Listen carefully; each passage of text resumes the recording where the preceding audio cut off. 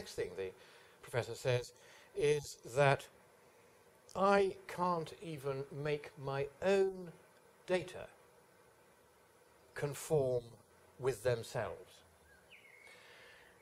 And he now displays two slides. I'm going to show the first of them now. And this slide is what has happened to global temperatures since the turn of the millennium on the 1st of January 2001, when the third millennium of the Christian era began. And since that date, there has been a falling trend in temperatures. It's not at present a statistically significant fall, but it is a fall. It is certainly not the very rapid rise in temperatures which the UN's climate panel, the IPCC, had predicted. And once again, I explained, and explained very clearly in my talk, that this graph was compiled by us by taking four separate global temperature data sets and averaging their monthly anomalies. That was explained in my talk. And what the professor does is he pretends I didn't say any of that.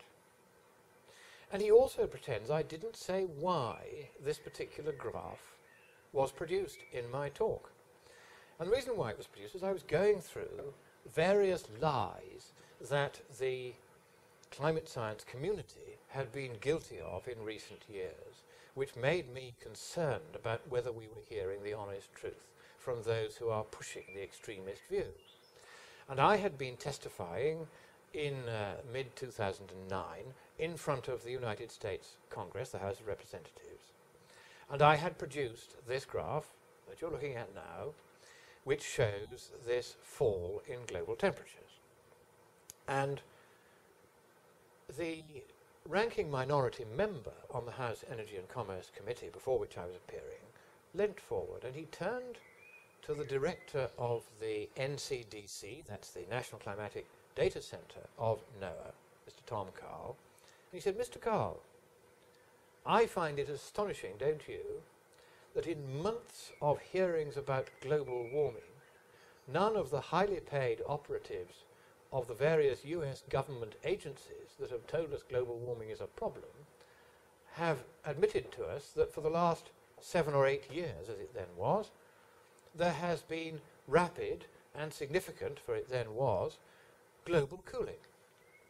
He said, Mr. Karl, would you care to explain why we haven't been told this by any of you? Do you not think it's a relevant fact?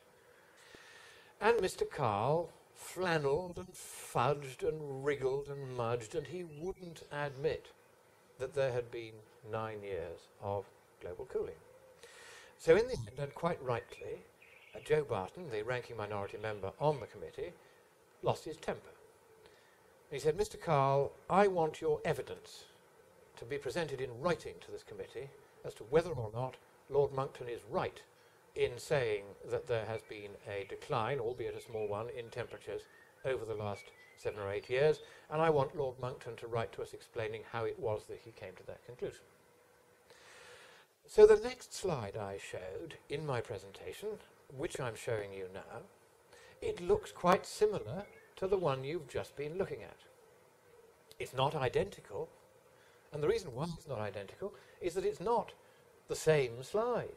It's not all four temperature data sets, because I thought, hey, wouldn't it be a good idea if we just took the NCDC global temperature data set, which is one of the four we used for our graph, because Tom Karl is the director of the NCDC, and let's see if we calculate the least squares linear regression trend on the data, which gives you some idea of which way the data is trending, and let's do that calculation and see if we get a downward slope in that trend. In other words, that we're still getting cooling, even if we use Tom Karl's own data set.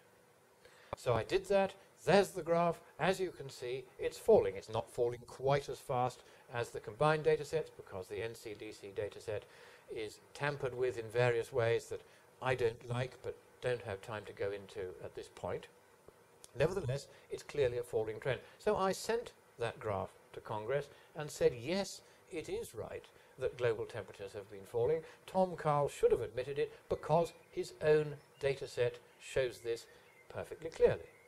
Now, of course, I accept that a nine-year period of data is not a very long period of data. You can't certainly draw any permanent conclusions about how global warming has forever come to an end or we're heading for a new ice age or anything like that. But certainly we can say that a nine-year period of measurement is surely likely to be more reliable as an indicator of what's going on than the 13-month period of measurement which uh, Professor Abraham had tried to draw a conclusion from a few slides ago.